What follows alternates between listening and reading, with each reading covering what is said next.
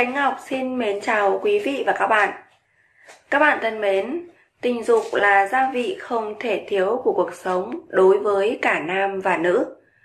Quan hệ chăn gối hài hòa và lành mạnh có thể làm tăng mối quan hệ giữa vợ chồng, giảm bớt áp lực trong cuộc sống hay công việc, tạo điều kiện cho sức khỏe của cả hai bên và duy trì sự bài tiết bình thường của hormone sinh dục Ờ, tuy nhiên, chúng ta phải chú ý đến một số vấn đề trong sinh hoạt chăn gối để đảm bảo tình dục lành mạnh và hòa hợp.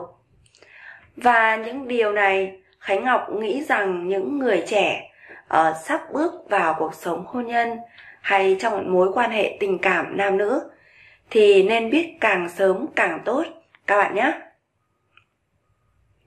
Thứ nhất, Việc quan hệ chăn gối phải luôn đạt được sự đồng thuận từ hai bên.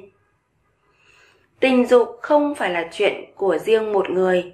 Chuyện chăn gối chỉ được thực hiện sau khi cả hai cùng thống nhất nhằm điều hòa quan hệ vợ chồng. Nếu một trong hai người bị ép buộc, à, không những không đạt được khoái cảm mà còn khiến đối phương chán ghét, phản kháng ảnh hưởng đến tình cảm vợ chồng, thậm chí có thể đi đến con đường ly hôn. Một số đàn ông sau khi lấy vợ thì cho rằng đã là vợ thì trong bất kỳ hoàn cảnh nào cũng phải chiều chồng. Đây là một suy nghĩ gia trưởng và sai lầm. Tôn trọng ý kiến của bạn đời trong chuyện chăn gối là một yếu tố trong văn hóa tình dục mà con người đã nâng cấp lên à, tình dục áp đặt luôn khiến cho những mâu thuẫn xuất hiện trong đời sống hôn nhân và nó rất khó giải quyết.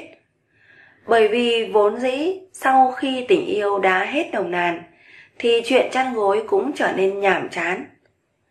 Có một số người chỉ tham gia vào nó như một nghĩa vụ trách nhiệm và với tâm trạng miễn cưỡng. Hay là hiện nay các cặp vợ chồng hay dùng từ trả bài. Cái từ trả bài nghe rất miễn cưỡng, ở ép buộc. Các cặp vợ chồng không nên dùng từ này để nói về đời sống chăn gối của mình. Thứ hai là các bạn không thể quan hệ khi một trong hai người không khỏe mạnh. Nếu trong người không khỏe mạnh, ở nhất là mắc căn bệnh nào đó thì không được quan hệ chăn gối. Việc này có thể làm tiêu hao năng lượng trong cơ thể, ảnh hưởng đến quá trình hồi phục sức khỏe, đồng thời truyền bệnh cho cái bạn tình. Ngoài ra, quan hệ tình dục trong trạng thái tinh thần quá căng thẳng, mệt mỏi sẽ khiến thời gian quan hệ tình dục ngắn và không đạt được cực khoái. Nó cũng có thể làm tiêu hao thể lực.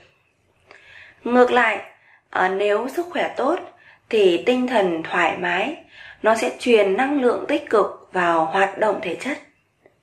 Như vậy, quan hệ chăn gối trong điều kiện khỏe mạnh, bạn sẽ dễ đạt được sự thỏa mãn hơn, đồng thời tận dụng được những cái ưu điểm của tình dục trong hôn nhân mang lại.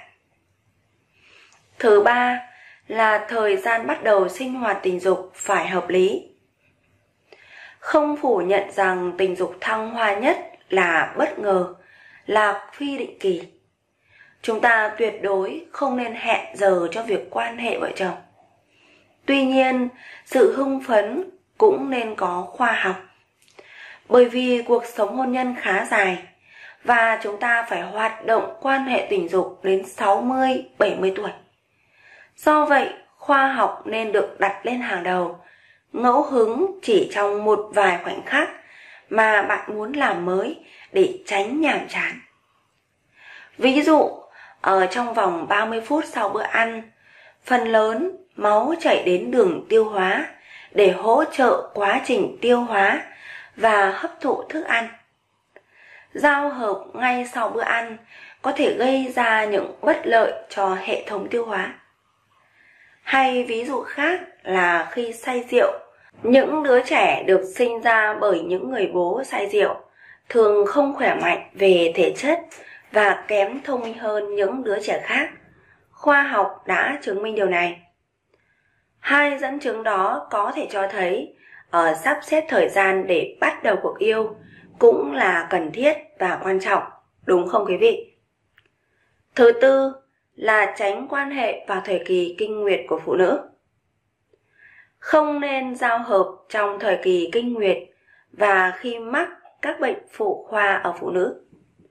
Bởi vì sức đề kháng và khả năng miễn dịch ở giai đoạn này kém, ở dễ mắc hoặc nặng thêm các cái bệnh phụ khoa, thậm chí có thể dẫn đến vô sinh nữ. Ngoài ra muốn quan hệ tình dục hài hòa ở mỹ mãn thì phải tránh sự vội vàng. Không những không đạt được khoái cảm mà còn tăng thêm đau đớn hoặc sinh ra lãnh cảm ở cả phụ nữ và đàn ông. Cái thứ năm là luôn giữ được sạch sẽ và thoải mái. Việc vệ sinh được nói đến ở đây không chỉ là vệ sinh cơ quan sinh dục, mà còn phải đảm bảo môi trường sinh dục luôn sạch sẽ và thoải mái. Hãy thử so sánh một người luôn vệ sinh sạch sẽ và mọi người luôn có mùi hôi hám thì chất lượng quan hệ chăn gối của ai sẽ tốt hơn. Việc không chú ý vệ sinh vùng kín ờ, sẽ mang vi khuẩn hoặc vi trùng gây bệnh xâm nhập vào cơ thể nhau. Từ đó gây ra các loại bệnh. Trong khi đó, ờ, nếu môi trường để quan hệ không sạch ờ, cũng sẽ tạo ra một cái tâm lý ức chế của bạn tình. Ví dụ, quan hệ trên một cái giường sạch sẽ, êm ái, thơm tho, nó sẽ khác hoàn toàn với một cái giường ọp ẹp, với cái đệm ẩm mốc và bừa bộn, phải không ạ? Đồng thời là cần tạo môi trường tình dục trong lành, yên tĩnh, ấm áp để tránh bị người khác quấy rầy. Sự không đảm bảo vệ sinh ở một người ờ, sẽ làm mất hứng thú tình dục ở người còn lại. Ví dụ, ở miệng người đàn ông hôi thì chẳng cô gái nào vui vẻ để mà đón nhận nụ hôn của anh ta cả. Và trong khi quan hệ uh, hứng thú của người phụ nữ cũng sẽ tan biến hết. Dĩ nhiên là các bạn phải biết được điều này. Thứ sáu là kiểm soát tần suất quan hệ chăn gối. Có rất nhiều tranh luận đã từng nổ ra về việc quan hệ chăn gối bao nhiêu trong một tuần hoặc một tháng là đủ. Việc đủ hay thiếu trong quan hệ tình dục rất khó để định lượng chính xác. Bởi vì nó phụ thuộc vào rất nhiều yếu tố, trong đó có yếu tố sức khỏe. Tuy nhiên, trong trường hợp bình thường, tần suất hợp lý để đáp ứng thỏa mãn của cả đàn ông và phụ nữ trong hôn nhân là khoảng từ 2 đến 4 lần một tuần, là không quá nhiều hoặc quá ít. Đặc biệt là các cặp vợ chồng trẻ cần phải kiểm soát tốt tần suất để đời sống tình dục hòa hợp. Bạn có khỏe đến mấy, nhưng nếu bạn lạm dụng thì chắc chắn sẽ không được bền bỉ. Con người cũng không khác gì cái máy. Hoạt động liên tục cũng cần phải được bảo dưỡng, phải được nghỉ ngơi. Do đó, tần suất bao nhiêu là hợp lý là do chính bạn quyết định. Bạn chỉ cần nhớ, nếu làm tình với tần suất quá dày, sẽ làm tiêu hao thể lực và năng lượng. Lâu dần sẽ dẫn đến suy giảm thể lực, trạng thái tinh thần, khả năng tư duy và trí nhớ cũng giảm đi.